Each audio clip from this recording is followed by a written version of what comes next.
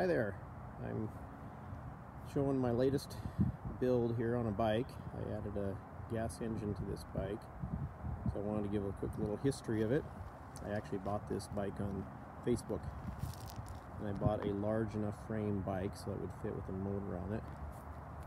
And this mountain bike had 700C tires or rims, and so I originally started with a Bikeberry kit and this is I'm really new to this so I bought that kit tried to put it on. I had it mostly put together and I could not get the sprocket on the back wheel to work.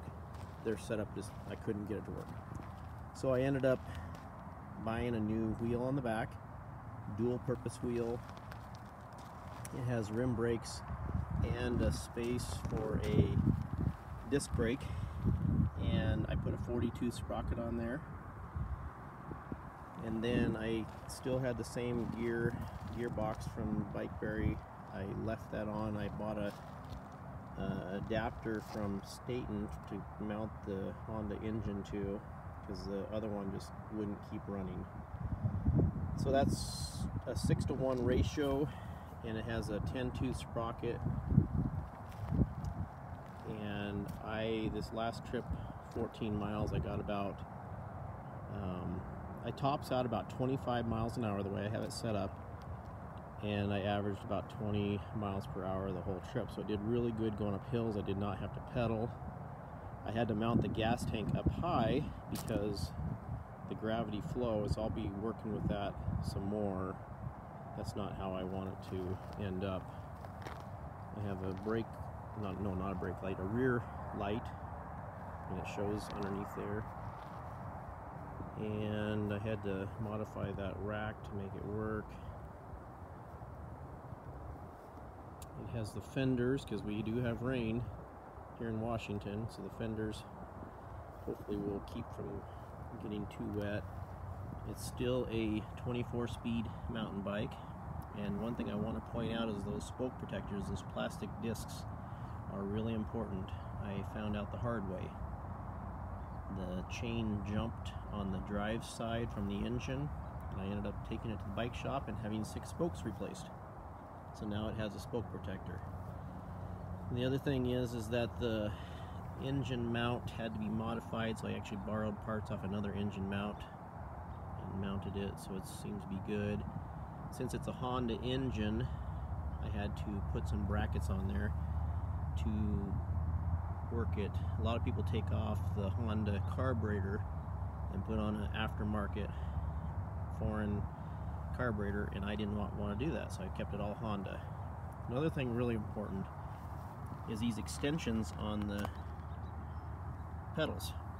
So that's good. It clears the engine even though I didn't have to do any pedaling this last go around. Let's see, what other features? I kept the Honda muffler. It sounds fine. I just wanted to direct it down and I don't have a setup yet, but this is kind of what I came up with temporarily. So it directs the exhaust away and that seemed to be fine. It wasn't too loud riding it. The shut off for the Honda is right here, so I did not go back with it on the throttle.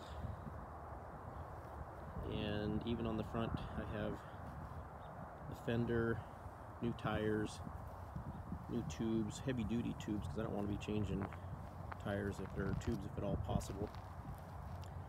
Put a light on it.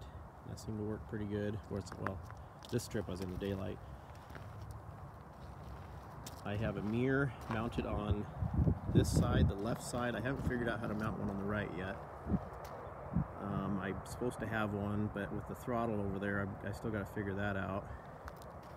And I have a speedometer, which really helped. I got that calibrated, and that really helped. I did not check my miles per gallon because I was only on a 14 mile trip this time. They claim over 100 miles per gallon, but that is yet to be figured out. I was real happy with the performance. Going up hills was good. Didn't have to pedal. It, it slowed down to maybe 20.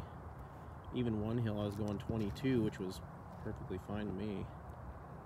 And then going downhill the engine really doesn't work past 25 so I just let off and just coast. And that seems to go pretty good. So with the smaller tires it goes flips right along. Well I hope you enjoyed it. This is my third bike second really of a build. And after a few tweaks on this I'm on to the next one. So this is quite the little habit I've got. All right take care